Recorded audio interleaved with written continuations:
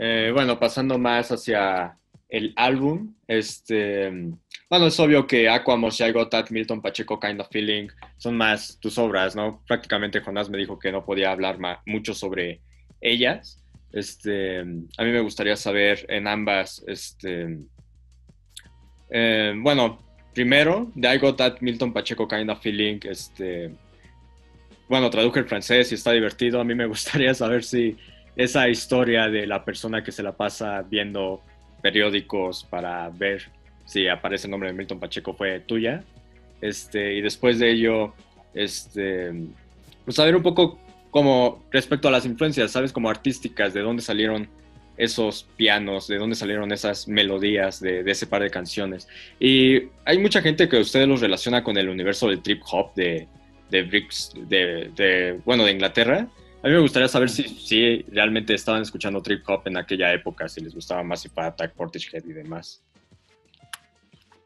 Ok. Eh, bueno, para, empezar, sí, o sea, las canciones que yo considero más una aportación eh, composicional mía. Claro. Eh, o sea, sí, Milton Pacheco es, obviamente una, pero como no, no puedo decir que es, eh, o sea, sí es a lo mejor yo influencié más la, la estructura y, la, llevando la composición, pero fue una composición que hicimos en conjunto con una banda llamada Sukia. Claro. Este, y, y en el estudio con ellos la idea surgió, ellos traían el beat y, yo dije, eso está padre, déjame lo pongo un piano. Entonces agarré el Burlitzer y empecé a tocar.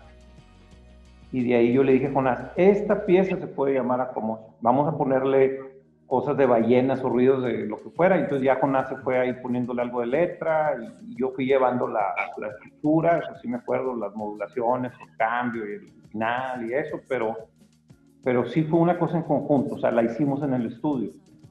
Eh, hay otras piezas como Oda Mauricio Garcés, que pues obviamente sí era un tema mío y, yo lo traía bien específico y, le dije a Jonás, toca la, la, guitarra, el bajo es esta línea, hay que grabarlo, etcétera, y el arreglo de cuerdas, entonces son canciones que considero muy mías, pero que a su vez la aportación de Jonás, por ejemplo Mauricio Garcés, pues es, es muy bonita, y solo, me canta, creo que es tan, tan mía como de, o sea, no puedo decir que no, pero sí es una pieza que yo traía en, la cabeza desde antes, ¿no?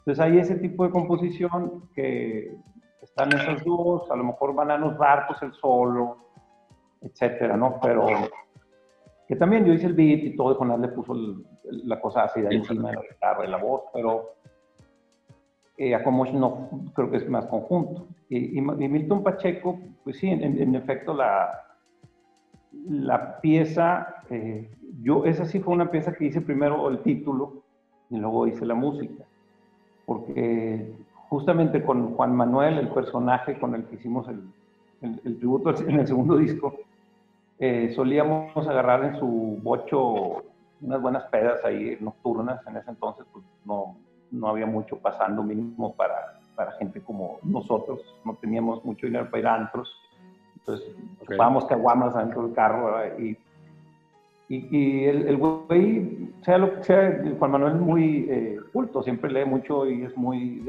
sabe mucho. El, el güey que en, el juego del maratón se sabía todo. En fin, pero él leía mucho el periódico y a mí me gustaba la, la, sección de los crímenes y siempre había un, un personaje que, que, lo resolvía, que era Milton Pacheco, el detective de Milton Pacheco. Cuando decían, es que agarraron a un güey que mató un vato ahí, el comandante Milton Pacheco, y a mí siempre me sonó muy interesante el nombre. Y en alguna peda por ahí con, con, Juan Manuel, que estábamos ahí chupando en el carro yendo cualquier mamada, Cure o lo que fuera, eh, le dije, güey, estoy bien preocupado porque ya tiene varios meses que no veo que salga Milton Pacheco. Y güey, neta, yo también. Entonces empezamos a hablar de un tema. Y le dije, voy a hacer una rola de cómo extraño a Milton Pacheco. Y, en fin, cuando fuimos a, a, grabar y estábamos allá en, California con Tommy Robbins, pues, fue un problema severo lo de, lo de las cuerdas, porque no querían soltar dinero, era mucho dinero y nos peleamos. pero ya estábamos en el estudio, entonces Tom les dijo, por favor, denle el dinero para las cuerdas, no me eran como 15 mil dólares, una cosa así, Hollywood son caros los músicos. Sí. Pero no se me olvida que fue una noche antes, o sea, y nos dieron el dinero y al día siguiente iban a grabar las cuerdas y no había arreglos. Entonces yo me, nos fuimos al hotel, Jonás y yo, y Jonás se durmió en la bañera porque su Walkman se estaba equipando ahí. Y yo acá en, el cuarto haciendo las partichelas para la, sin piano, sin nada. Entonces estaba nervioso porque decía, donde no me acuerde bien, me voy a cagar con todos los instrumentos, algo, me explico. Y al día siguiente llegamos a la sesión y era Mauricio Garcés y, y porque traían cuerdas. Y, y empieza la, la, pieza y se oye un mugrero así horrible. Y yo revisando mis apuntes, ¿qué pasó? ¿En dónde la cagué? Y, y volteando Tommy Rob, los productores, y Jonás y todos como con cara de pinche pendejo. O sea, ya la cagamos, ¿no? Y en eso un, un músico adentro dice, oops, sorry, y voltea la partitura. Yeah. Y güey de mamón nomás lo hizo adrede y luego ya empieza a sonar bien. Y, y, ahí fue donde escuché yo por primera vez lo que en la cabeza traía de esas ideas de esas canciones. Y ya nos gustó, todo muy bien y bla, bla, bla llegó April March, que era una cantante amiga de Tommy Rock, gringa, pero que hablaba francés. Entonces la oye y dice, no mames, qué bonita canción, déjame hacer algo. Y claro, métele algo encima. Y dijo, ¿de qué se trata? Entonces le expliqué que es este detective y dijo, no mames, y entonces ya se puso a ladrarle encima, ¿verdad? Y, y eso eh, ya quedó la canción como tal. Yo la verdad nunca me he clavado qué tanto dice en francés o no, pero, pues, digo, qué bueno que habló de eso. Sí, sí, habla sobre un hombre que está buscando a alguien en un periódico todo el tiempo. Muy nostálgico. Es algo interesante esa canción porque como que dentro de mi círculo de chicos snob de la música está como súper considerada como una de las piezas más cabronas que se han grabado en México. Entonces, sí, es como un honor, digo que gracias porque sí, es, es, muy allegada. Melódicamente me gusta. El piano yo quería hacer una cosa tipo Liberace, así como que muy rimbombante, romántico, eh, pastoso. Eh, pero pues este, creo que es una melodía bonita y me gusta la modulación y la cadencia del final. Quise manejar como una cosa clásica dentro de, pero volviendo a tus preguntas y, y de lo del trip hop, no, no, no puedo decir que, que, fuera una influencia o que teníamos la intención de, de hacer algo así. Simplemente el, el, único eh, determinante de, de, las canciones en ese primer disco es que el sampler, el Roland S760, tenía 16 megas interiores y, y, teníamos que componer con 16 megas. Entonces yo tenía que calcular los elementos que podían caber. Entonces, dependiendo de la calidad en kilohertz podía escoger si un elemento era más importante, lo ponía más fidelidad a 32 kilohertz y si no me importaba tanto lo ponía a 8 kilohertz o 12 y se oía más garro, pero para que pudiéramos llegar a los 16 megas totales de programación, ¿no? Y todo ese disco, digamos que, que todas las canciones tienen programación y los amplios, todo está dentro de 16 pinches megas cada uno. ¿En serio? Órale. Eso sí no me lo esperaba. Porque, o sea, sí, o sea, es obvio que la mayoría de la instrumentación del álbum son sampleos y que son, pues, prácticamente un collage, pero tampoco es como que sea un collage muy, em, pues, minimalista. Es como todo lo contrario, es una maximalista en muchas ocasiones. Sí, es que, es que ya fue... Eh, ahí es donde viene lo difícil de la, de la programación en ese entonces, porque no había mucha memoria. Entonces yo, por ejemplo, si quería hacer un, un bajo sub por decir, para Milton Pacheco hay un bu, bu, bu, bu, bu, bu. Lo que hacía era eh, samplear una frecuencia, o sea, un segundo de cualquier oscilador y, agarraba un pedacito y eso lo repetía, entonces ya hacía la oscilación para no tener que usar un sampleo más grande. Entonces, era de, tengo los papeles, todas las notaciones, eran libros enteros de, de puros cálculos matemáticos para poder llegar a las, de resultados. Entonces, por eso también Jonás se, se entendía, este pendejo yo vengo cuando ya termino para oír, ¿no? Pero ese disco entero, por eso me da orgullo, porque sí siento que, que, le, saca, le exprimimos ese, ese pinche sampler. Oye, este, tomando en cuenta que el álbum fue como un éxito comercial y que estuvo en MTV y que pues, ustedes prácticamente se convirtieron como en íconos de la escena de rock alternativo en México. ¿A ti te sorprendió ese recibimiento en algún punto? Siendo también que me contaste todo eso de las, de las campales en la disquera y de pues prácticamente tratar, bueno, lanzar un álbum que es mucho más artístico que un álbum de rock alternativo mexicano típico. Sí me sorprendió, pero yo creo que a la disquera le sorprendió más porque cuando llegamos a EMI, Polygram nos habían ofrecido, tenían en ese entonces un sello que era Discos Manicomio, creo, no me acuerdo cómo se llamaba, en donde estaba, creo que sí, La Lupita y Zurdo y otras cosas así. Y estaba Marcelo Lara y Robiliar, y ellos este, nos dijeron, nosotros les podemos licenciar el, el disco. O sea, podemos sacarlo, pero no les pagamos el máster ni nada, porque no creemos que vaya a tener éxito comercial. Nos gusta el proyecto, pero no creemos en él, ¿no? Entonces nosotros estábamos con el apoyo del estudio donde yo trabajaba, y nos dejaba grabar, conozca este Gerardo Rocha, aquí un buen amigo, él, nos dijo, sí, yo los apoyo, ustedes grábenme y luego me pagan. Entonces empezamos a hacer el, el solo. Eh, después Emi nos habla, y fuimos a hacer un show a, a México y Camilo nos dio y Emi nos habla, y y nos dice, nosotros los apoyamos y todo, y empezó una negociación del contrato. Entonces, aún y que no éramos nadie, teníamos muy claro qué era lo que queríamos o que valorábamos en una relación, y lo que nosotros apostamos fue, ok, mira, no nos des un contrato chingón, no nos des lana, eh, nada más. Nosotros tenemos la última palabra creativa en todo lo que es auditivo y visual, Ustedes pueden opinar, pero al final nosotros decidimos por escrito y por cada tantas ventas va a subir un punto porcentual, eh, un punto porcentual de, lo que nos toca, ¿no? Y se cagaron de risa. Está bueno, hombre, sí, ¿verdad? Entonces, por eso te digo que los que más impresionaron fueron ellos, porque estaba, sabieron que empezó a pegar y estos hijos de pinche madre sí están ganando más lana, ¿no? Claro. Y entonces tuvimos muy buena eh, recomendaciones y, consejos de, del MOPRI de Fabricio Neto, todavía anda por ahí él jalando en Panorama y con otras cosas, que era nuestro manager y que realmente le apostamos a lo grande. También en lo editorial, el dinero que nos dieron en ese primer disco fue hasta después de que fue un éxito Mr. P.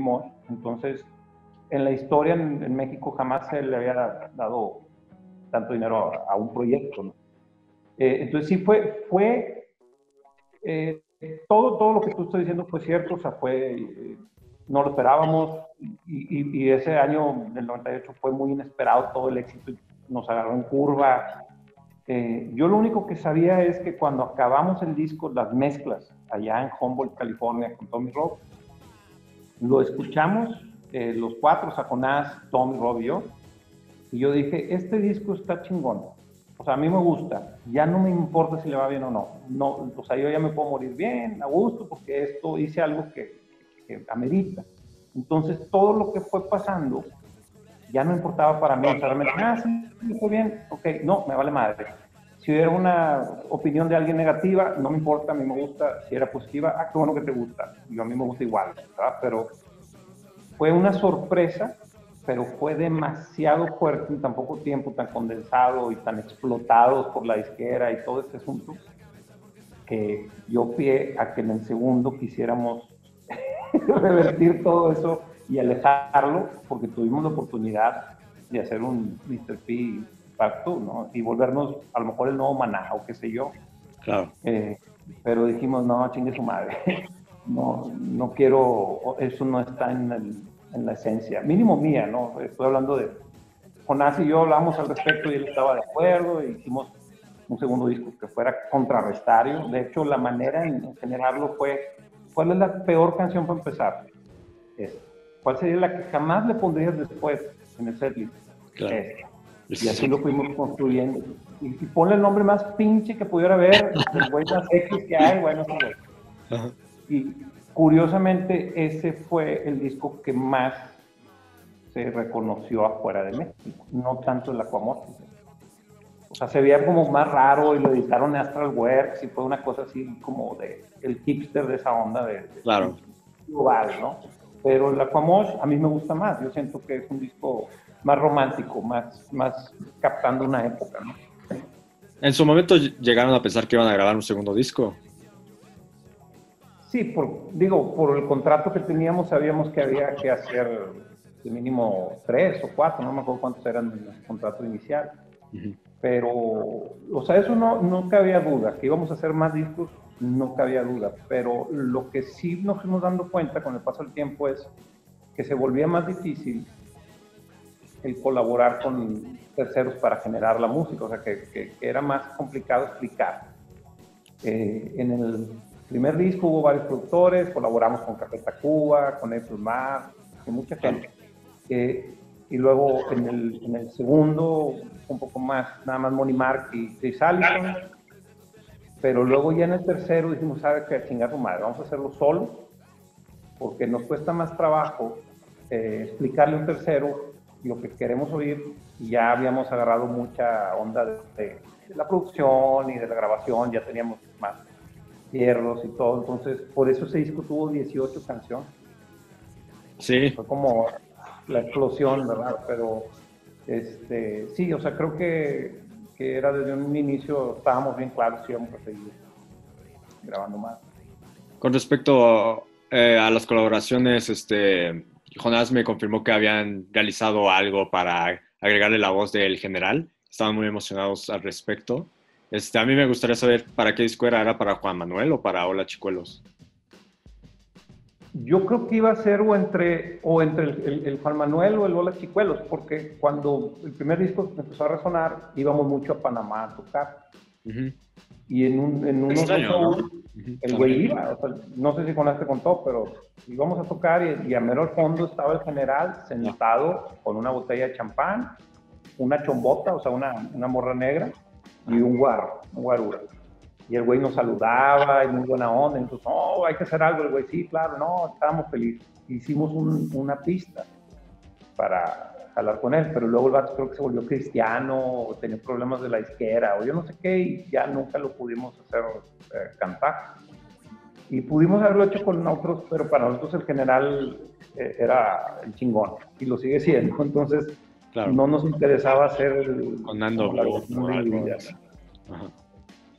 Muy bien. Bueno, este, nada más como para darle cierre a, esto, este, a mí me gustaría saber, este, pues cómo te sientes con respecto a ese primer disco, ¿no? O sea, no sé si lo has escuchado últimamente, en los últimos meses, en los últimos años.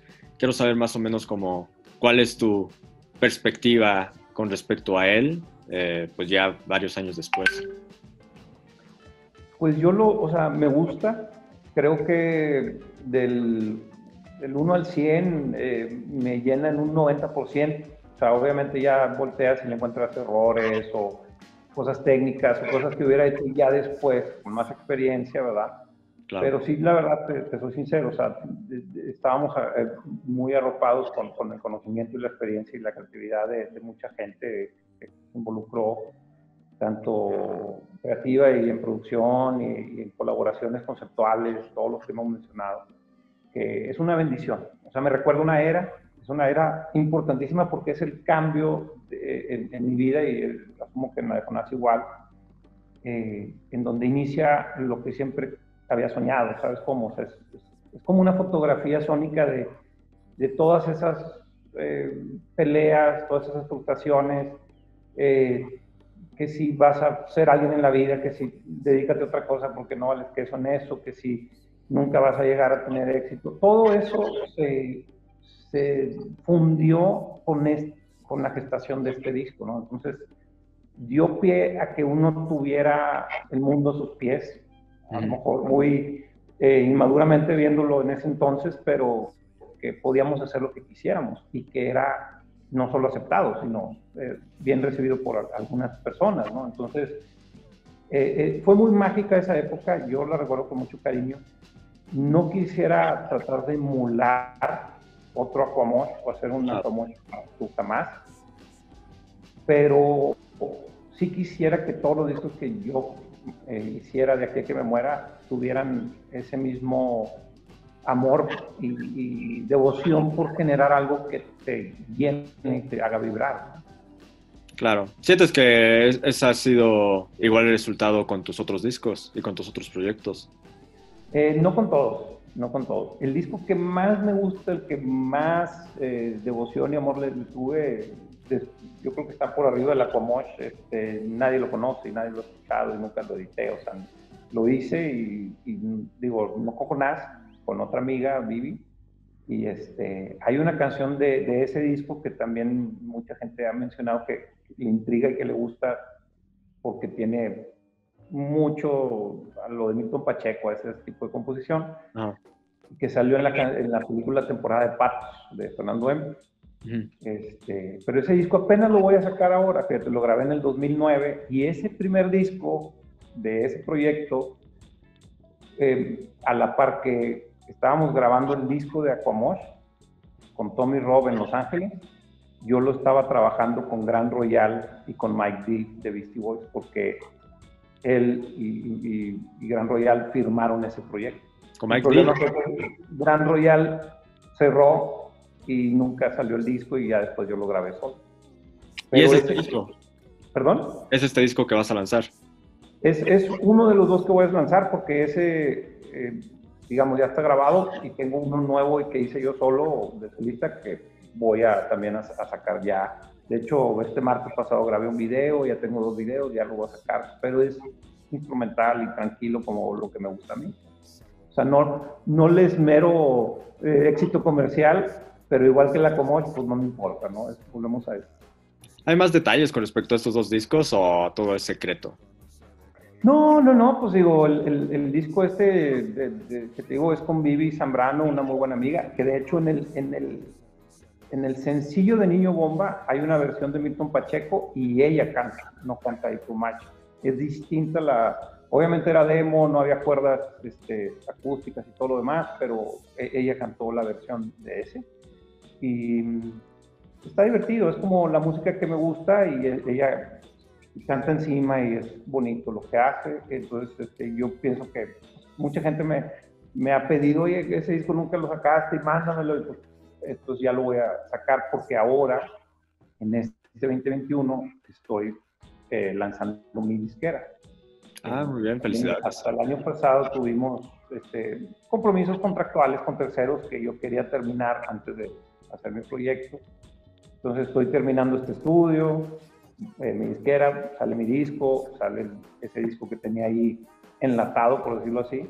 Estoy eh, también sacando un disco de un brasileño hace un par de años fui a Río a, grabar y, un Bruno, un brasileño de samba, y va a salir en mi disquera. Entonces, traigo todo este nuevo, digamos, eh, proyecto o, nueva faceta, ¿no? Y, estoy emocionado porque es más cercano a, a lo mejor a, a lo que siempre ha sido mi ciencia, sin este, necesariamente estar peleado con lo que hago con Jonás o lo que hemos hecho con Jonás, pues esto es parte de lo que a mí me gusta hacer. Claro. Eh, ¿Tu proyecto con Baby tiene nombre? Bueno, el disco ese se llamó Panorama On, ON. Eh, si quieres te lo hago llegar, te, lo mando este, por WeTransfer ahora para que lo escuches, me des tu opinión. Ah, sí, con gusto.